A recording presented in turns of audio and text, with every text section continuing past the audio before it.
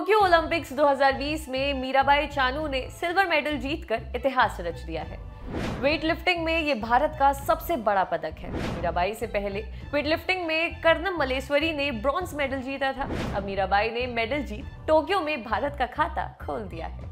इस शानदार जीत के बाद मीराबाई के घर में जश्न है और खुद मीराबाई भी बेहद खुश हैं। उनचास किलो वर्ग में पहला मेडल जीतने के बाद मीराबाई ने कहा, मैं पिछले पाँच सालों से इस मेडल का सपना देख रही थी। मैं बेहद खुश हूँ कि मुझे सिल्वर मेडल मिला है। मैंने गोल्ड जीतने के लिए बहुत कोशिश की, लेकिन क्लीन एंड जर्क इवेंट में टारगेट अचीव करना मुश्किल हो गया। मैंने ओलंपिक रिकॉर्ड को बेहतर करने की कोशिश की, लेकिन ऐसा नहीं हुआ। मैं फिर भी बहुत खुश हूँ। मीराबाई ने आगे कहा, मैं इस मैच में बेहद नर्वस थी। क्योंकि पूरे देश की नज़रें मुझ पर टिकी हुई थी।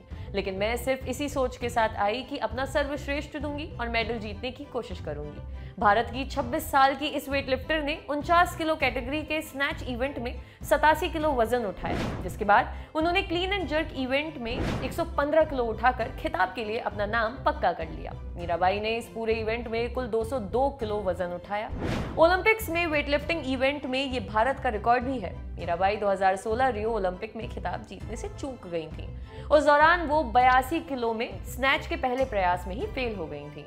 जिसके बाद उन्होंने दूसरे प्रयास में बयासी किलो उठाया था, लेकिन तीसरे प्रयास में वो फिर से चौरासी किलो में फेल हो गई थी। मीरा ने रियो ओलंपिक को याद करते हुए कहा, मैंने रियो ओलंपिक 2016 से बहुत कुछ सीखा। मैंने वहाँ से सीखा कि मुझे आगे क्या करना है, कहाँ सुधार की ज़रूरत है। आज मैं यहाँ रियो ओलंपिक की नाकामी की वजह से ही हूँ।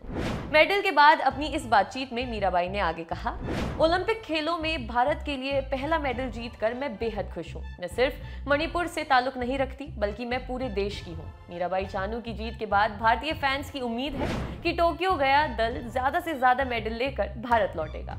आपके लिए खबर लिखी थी हमारे साथी विपिन ने। ओलंपिक से जुड़ी तमाम खबरों के लिए देखते रहिए दी लंदन टॉप। शुक्रिया।